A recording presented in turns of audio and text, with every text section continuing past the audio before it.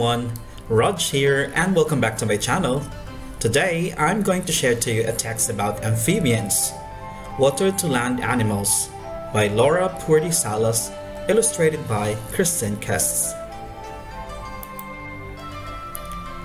A world full of animals. Millions of animals lived on our planet. Scientists classify animals or group them together by looking at how the animals are alike or different. Six of the more familiar main groups of animals living on Earth are mammals, birds, reptiles, amphibians, fish, and insects.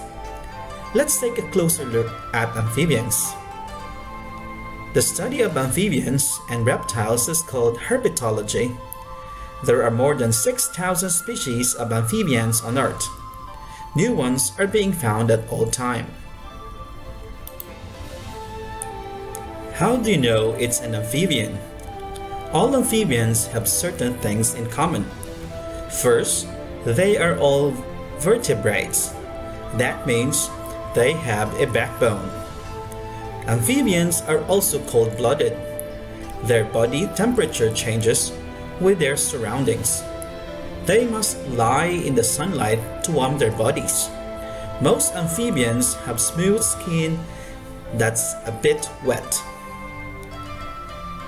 Many amphibians spend part of their lives in water and part of their lives on land. They start out in the freshwater pond or stream.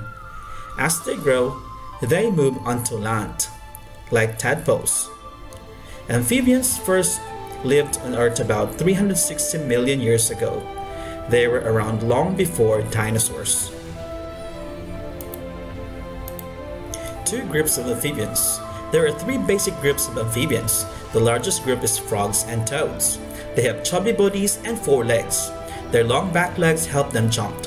Frogs live in our near water and have skin that feels somewhat wet.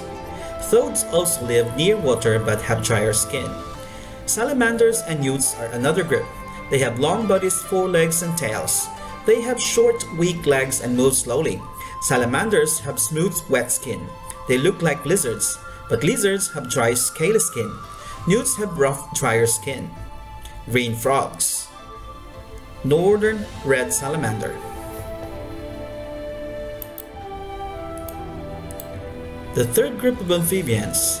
The last group of amphibians is called caecilians. Lots of people have never heard of them. They look like giant earthworms, but they have sharp teeth.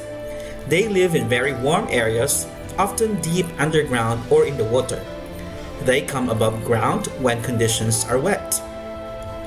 Caecilians Caecilians have very small eyes and no ears.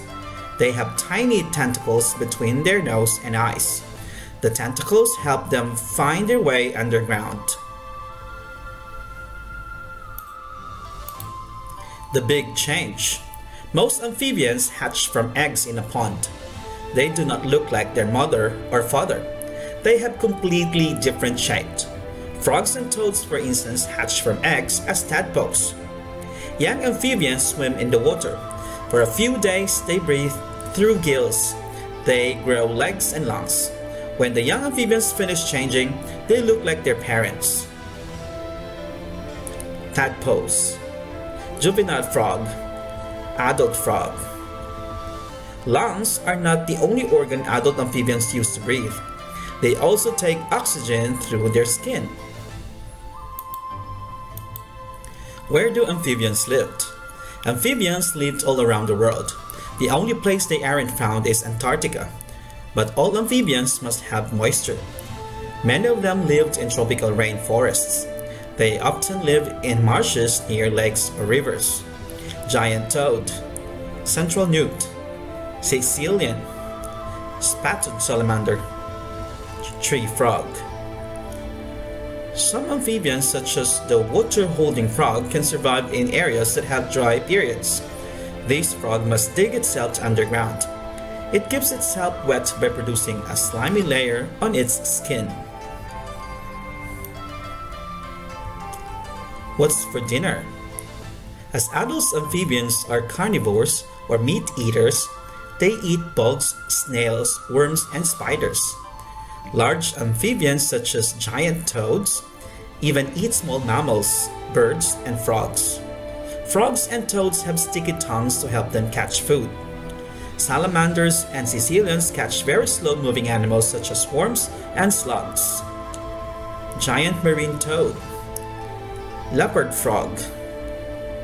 As amphibians grow, their skin gets too tight. Several times a year they form a new skin, and the old skin peels off. When amphibians shed their skin, they often eat it. Unusual amphibians. Some amphibians do amazing things. The eggs of the Suriname female toad stick to its back. Then the eggs sink into the mother's skin and the skin grows around them. When the young toads hatch from their eggs, they pop right out of their mother's back. Arboreal salamanders and frogs climb trees. Their large toe pads help them grip branches. The Wallace's frog even flies kind of. Using giant stretches of skin between its fingers and toes, the frog glides from one tree to another. Suriname toad, arboreal salamander. Amphibians in our world. Amphibians have lived on Earth for around 360 million years. But many amphibians species such as the Goliath frog and the Chinese giant salamander are in danger of dying out.